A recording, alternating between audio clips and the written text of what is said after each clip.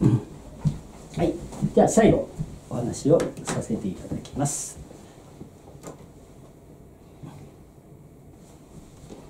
まあ、今日は、えー、有識三十十で、えーまあ、この内容はね、えー、最後は支援の教えで難しい因果の通りも4つの縁が分かれば、えー、大体、えー、全体がつかめるという話を先ほどいたしました。じゃあ最後ですねこれ浄土真宗では、えー、この支援をどう捉えてるかを見てみたいと思います。この浄土真宗ではねこの因果の通りで4つの縁の中のねこの増上縁をねよく親鸞上人ね使っておられます、ね、これあのどんなん大師もおっしゃるし、えー、禅道大師もおっしゃる、まあ、当然もう仏教学者はねこの有識の教えを知らないはずはない。教えのもう根幹に、え、仏教の教えのね。この根幹にある教えがこの因果の通りですしこの概念なんですね。でこの増上縁をどうおっしゃってるかをね、えー、この後最後ね、まあ、簡単に見てみたいと思います。で親鸞上人が、えー、使ってる箇所今から3箇所あの紹介しますね、えー、禅道和算とねあと尊号心臓名門と一年種証文をねさらっと見ていきたいと思います、まあ親鸞上人ご自身の体験も含めてご自身の体験からこの増上縁の素晴らしさを知らされたんでしょうね。まずえー、禅道和算というのがありますね。これ高層和算といって七高層の教えを親鸞上人は、えー、それぞれね和らげて褒める。和算というのは和らげ褒めるとこう親鸞上人おっしゃいましてね。大和言葉ひらがな混じりで漢文ばかりでは難しいんで大和言葉ひらがな混じりで褒めたたえる和算という形式で、ね、一般の人でもね仏法が理解できるように教えてくだされたのが和算であります。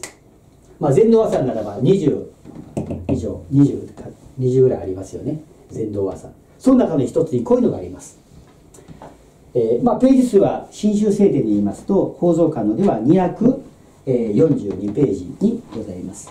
242ページね、えー、真ん中あたりにあります。まあ LINE でもちょっと送りましたけども、えー、まあまあ、普段あんまり聞かない和さんかもしれませんが、242ページに、えー、出ておりますね。ん ?242 あるかな、ありますね。242ページの真ん中の和さんね。えー、仏法力のお尻には、諸者合計触らねば、皆の本具税願を増上縁と名付けたり。え、この禅道大臣ご自身の体験、また親鸞上人の体験として、この私は仏法力の不思議が知らされた。ね。えー、仏法の力によってこの親鸞は救われた。もうこの仏法の力はねとてもね思議することができない。不思議不可思議。思いはかることが不可できない。正解では不可思議ですから略して不思議、とてもね思うはか思いはかることが難しいものが仏法力である。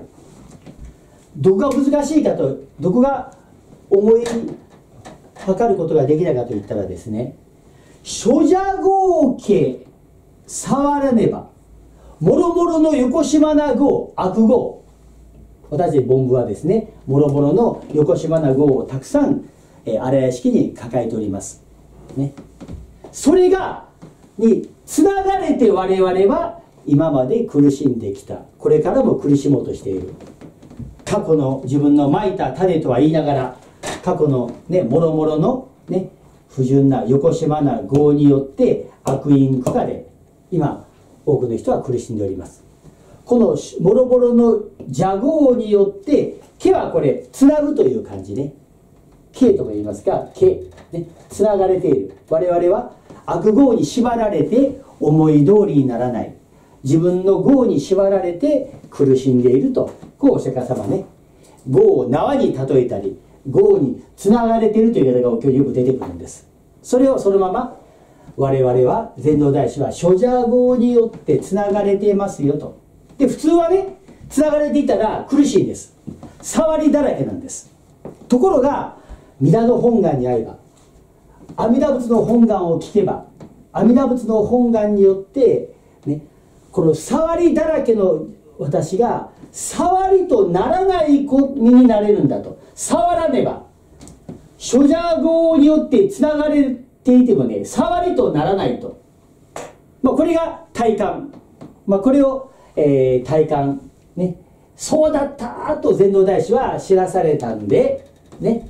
えー、それは弥陀の本願阿弥陀仏の本具税願阿弥陀仏の本願は広い誓い。全ての人を十方子を救ってやりたいというね、えー、広い誓い必ずね、えー、救ってみせるという誓いの本願を本具税願を立てられた。で、えー、あなたの因はろくでもないものかもしれんけどもね縁がすごいからね増上縁ね。運命はねあなたの直接原因の因と。そして、ね、因だけじゃない。間接原因もね影響を与えますから。この増上縁がねすごい力であったらねどんな極悪人でも救われると。こう禅道大師は、えー、実感されて、えー、ミラル本願一つをね漢武領事教でも大胆な解釈をされてね普通ならばあんな解釈できないのにね禅道大師は漢武領事教書を書かれて、ね、このように言うべきだということで漢武領事教のね本をずっと解釈されていかれます。でこのね、えー、増上縁ということもですねおっしゃって、えー、このミラノ本願イコール増上縁意味はね上にますと書かれる強い力ですよね。上にいますだからまさに普通はよりき増上縁あなたに力を与えるもの。そして力のあるもの、まあ、これが本来の増上縁シラ書には後でおっしゃるけどね。優れた豪縁とおっしゃってね優れた力。優れた力を増上縁というふうに親鸞書にはおっしゃってます。増上縁と名付けたりと。弥陀の本願イコール増上縁。弥陀の本願によって有識の教えから言ってもね矛盾はしないと。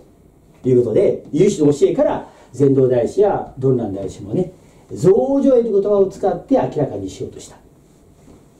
あのこの朝以外にもねいくつかありますから紹介しましょう、えー、504ページ、えー、504ページ見てみますと、え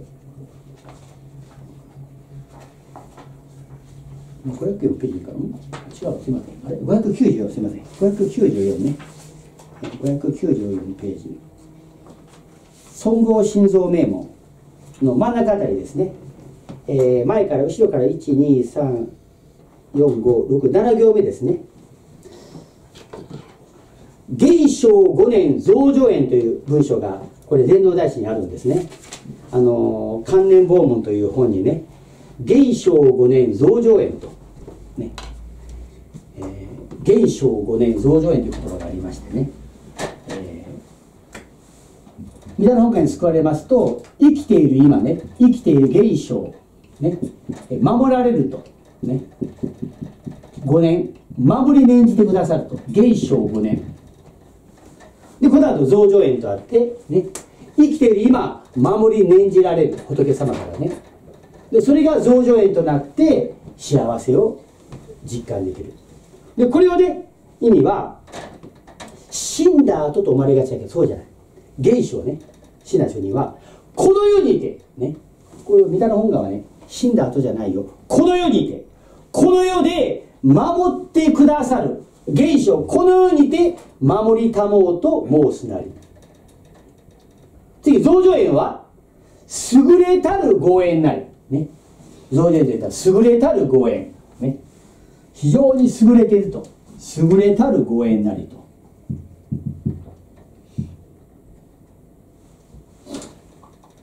優れた素晴らしいね。優れたるご縁なりと。強い縁ね。優れたるご縁なりと。こういうふうにね親鸞書には増上縁の解釈をしております、えー、現象五年増上縁というのはどういう意味かというとこの世で守ってくださることを言いますよ。増上縁というのは、えー、優れたるご縁であると。こうねおっしゃってます。あともう一つ一年種書もいきましょう。605ページね。605ページ。えー、これも真ん中あたりですね、えー、これもこれ関連訪問ですけど同じ文章ですね。後ろから1234567行目。8行目から。読んでみると飛躍税現象でこれまたこれ現象5年ね。ここの解釈ですね。同じ5問の解釈ね。これまたこれ現象5年とあるけども関連拷問にね。これはこの世にて死んだ後じゃない。この世で守ってくださるんですよと。この世でね、えー、阿弥陀仏から守られ守られるこの世にて守ってくださるんですよ。そして本願合力は本願合力。これ大願合力ですね阿弥陀仏が大願合力。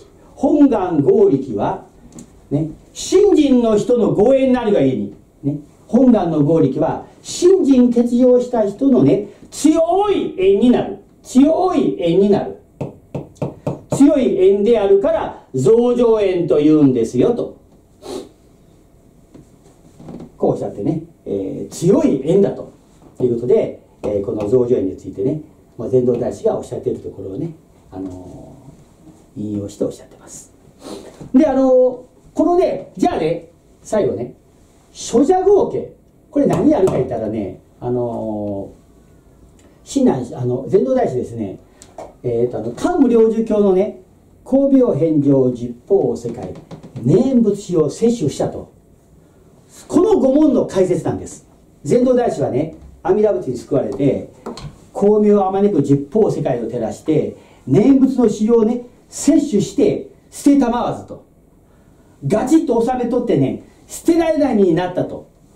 この五問の解説をの時にねこの3つのねあの五問を出すんです。阿弥陀仏に救われるとはね増上縁権縁深縁だとおっしゃるんです。そこで出てくるんでこのこの内容が、まあ、全道大師の体験ですけどねあの阿弥陀仏に救われますと阿弥陀仏とね親しい関係になると。ね、えー、口で唱えたら阿弥陀仏がそれをね、えー、聞いてくださりね、えー、私が礼拝したらね阿弥陀仏が私を見てくださり私が思ったら阿弥陀仏を思ってくださると。ね、私の三号と皆の三号が一致していると。非死三号不相シャリといってね、えー、阿弥陀仏彼とこちらがこれとで不相シャリ三号がね離れないと。私がね、えー、来外したら阿弥陀仏は見てくださる。唱えたら聞いてくださる。そしてお念したら思ってくださるということで親しい関係にあると。そして阿弥陀仏と近い関係にあると。で3つ目がね増上縁でこの説明で何があるか言ったらね罪を滅するとおっしゃるわけ、ね、罪を滅する、ね、もろもろのこのね邪法がね触りとならない。で実際になくしてくださるんです。